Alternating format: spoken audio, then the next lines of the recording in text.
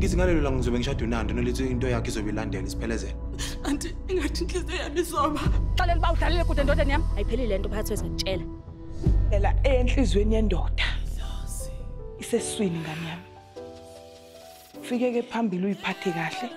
wenze konke ngane yami engufundise khona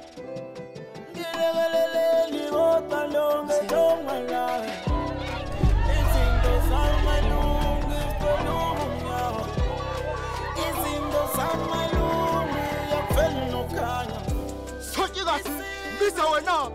lelo lukuthe ngithi khula lami ngibuye khuluma kwakudala